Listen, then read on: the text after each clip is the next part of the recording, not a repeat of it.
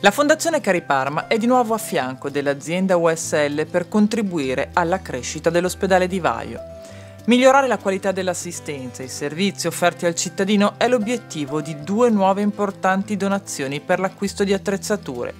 Sono due le unità operative interessate, l'unità operativa di endoscopia digestiva e gastroenterologia e l'unità operativa di pronto soccorso e medicina.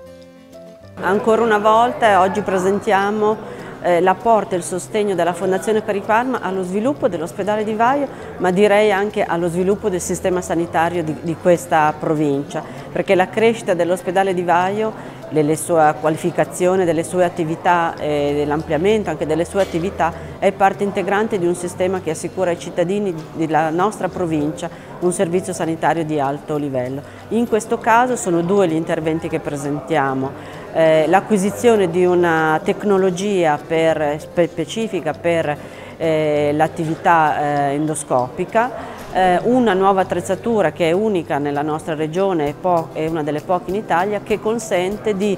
individuare meglio eh, lesioni potenzialmente ehm, insomma, tumorali e quindi di mh, consentire ai percorsi di cura di questi pazienti un migliore e più, tempestivo, e più tempestivo intervento. È un'attrezzatura che ha servizio di tutto il sistema e qualifica l'attività di screening colon retto, che è un'attività importante che le aziende eh, hanno avviato proprio per intervenire precocemente eh, per questi tumori che rappresentano una causa importante di, di tumori, un numero importante di tumori in Italia e anche nella nostra provincia eh, screening che è costantemente promosso anche con la collaborazione di associazioni di volontariato che sensibilizzano i cittadini e sono al fianco delle aziende anche nel, eh, nella, nella donazione di attrezzature.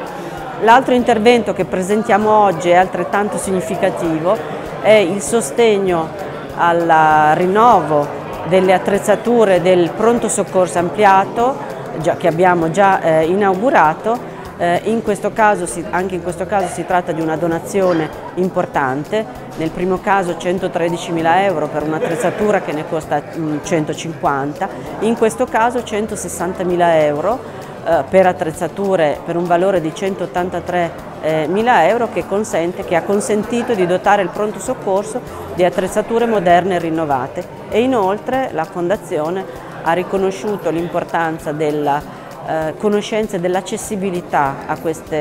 alle prestazioni di pronto soccorso e l'importanza che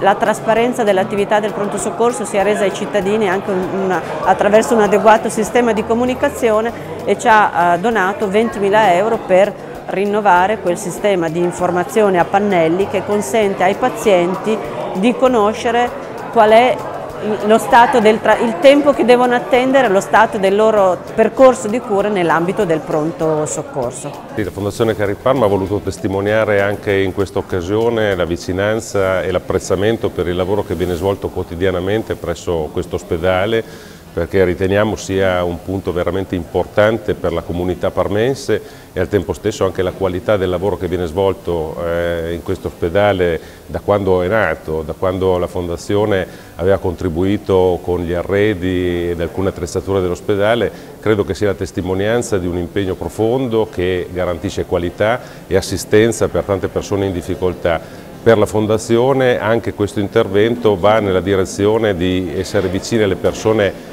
che si trovano in situazioni di fragilità, in questo caso per malattia o per situazioni di urgenza come per il pronto soccorso e crediamo che sia le strumentazioni sia eh, gli spazi che sono stati garantiti attraverso questo intervento possano eh, essere di aiuto per migliorare le condizioni delle persone che vengono in ospedale, che devono trovare assistenza, cura e anche rapporti umani adeguati in un momento di difficoltà. Il vantaggio indiscusso dell'utilizzo di un colonoscopio fuse è confermato anche da recenti studi che evidenziano come la percentuale di adenomi non diagnosticati con l'impiego di fuse si riduca dal 43 al 10%. Migliora quindi anche la qualità del programma di screening per la diagnosi precoce dei tumori al colon retto. Avremo a disposizione qui all'ospedale di Vaio un sistema rivoluzionario caratterizzato da delle sonde endoscopiche con tre telecamere nella, a dispetto dell'unica telecamera dei coloscopi tradizionali che aumenta il raggio di azione e di sguardo all'interno dell'intestino dai 170 gradi a quasi una visione a 360 gradi.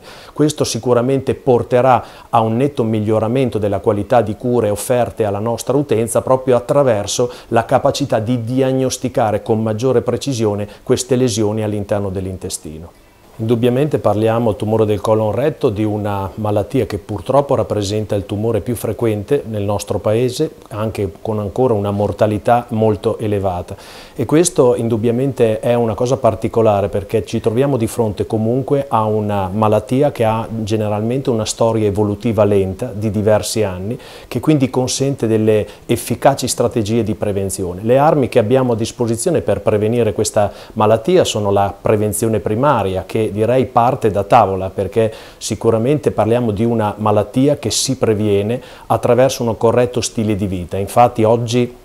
non c'è più discussione sul fatto che una dieta particolarmente ricca di carni rosse, di grassi animali di tipo saturo e viceversa, povera di grassi polinsaturi, quelli contenuti negli oli di carni bianche, pesce, frutta e verdure, si associa a un aumentato rischio di sviluppare questa malattia. Quindi l'obesità e tutto quello che può portare a una dieta ipercalorica sono sicuramente il primo modo per cercare di ridurre l'incidenza di questa malattia. Indubbiamente l'altra arma fondamentale per la prevenzione è quello dello screening, cioè la prevenzione secondaria, cioè di andare a cercare nella popolazione quelli che possono essere i segnali premonitori di questa malattia. È per questo che nella provincia di Parma da ormai dieci anni è attiva una campagna di screening che si basa sulla ricerca del sangue occulto nelle feci e la colonoscopia nei casi positivi che possiamo dire alla data odierna ci ha consentito di ridurre la mortalità per questa malattia. Sicuramente i familiari di primo grado che hanno avuto questa eh, malattia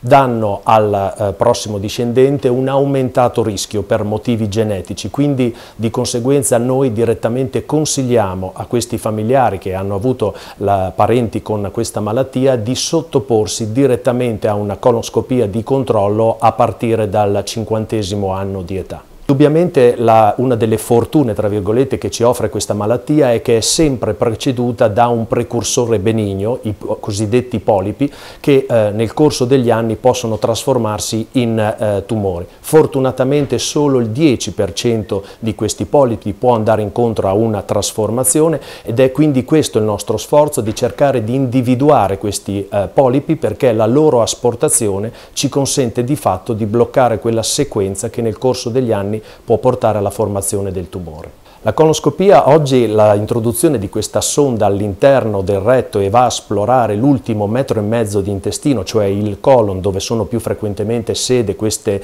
eh, malattie, è indubbiamente l'esame più preciso e di riferimento oggi che noi abbiamo a disposizione. Direi che è anche uscito questo esame un po' dall'alone di paura di esame pericoloso e eh, doloroso e di fatto oggi abbiamo delle strumentazioni che hanno una precisione quasi microscopica e ci consentono consentono quindi di vedere delle lesioni ancora in maniera molto precoce e quindi di determinare la guarigione nella quasi totalità dei casi. L'endoscopia, la colonoscopia tra l'altro oltre a permetterci delle diagnosi molto raffinate ci consente anche in un tempo unico di trattare queste lesioni, cioè di passare direttamente alla fase terapeutica come per esempio l'asportazione dei polipi che oggi vengono fatti in maniera completamente ambulatoriale in un tempo unico anche la preparazione che deve eh, necessariamente essere effettuata il giorno prima per pulire l'intestino, oggi viene eh, effettuata mediante delle soluzioni a basso volume che quindi consentono al paziente agevolmente di pulire l'intestino senza particolari sacrifici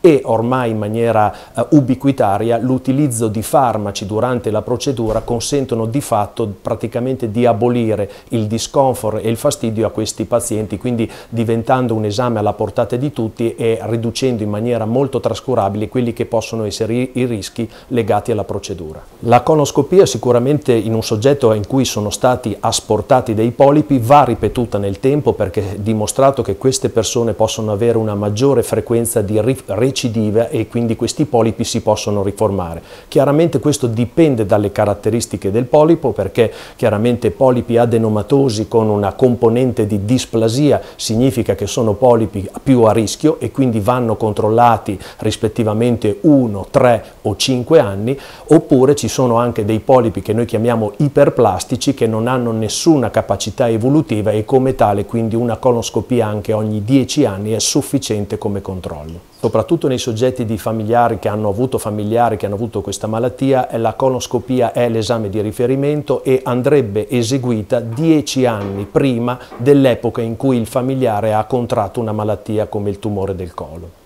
Il contributo di Fondazione Cariparma ha interessato anche il nuovo pronto soccorso, recentemente inaugurato dopo l'ampliamento e la ristrutturazione.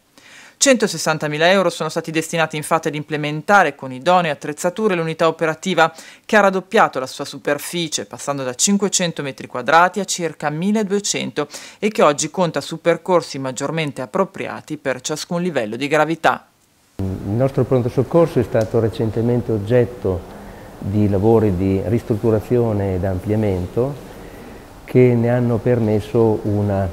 nuova allocazione, quindi sono stati ristrutturati gli spazi del vecchio pronto soccorso e il pronto soccorso è stato ampliato in nuovi spazi, quindi i suoi locali sono stati praticamente raddoppiati. Siamo passati da una logica di tipo ambulatoriale in spazi ristretti a una logica più performante di open space e di suddivisione di ambienti per aree suddivise in base al codice colore di triage e quindi in base alla filosofia assistenziale dell'intensità di cura. Questo richiedeva un passaggio importante anche in senso di trasformazione tecnologica e di dotazione tecnologica, quindi in un momento eccezionale abbiamo pensato di far ricorso alla Fondazione Cariparma presentando a loro un progetto di eh, riqualificazione e dotazione tecnologica sia per quello che riguardava le attrezzature sia per quello che riguarda il modello di comunicazione con l'utenza. E Cariparma ha risposto in modo affermativo, ha capito il nostro progetto e tramite il loro intervento siamo riusciti a dare una risposta tecnologica soddisfacente al pronto soccorso.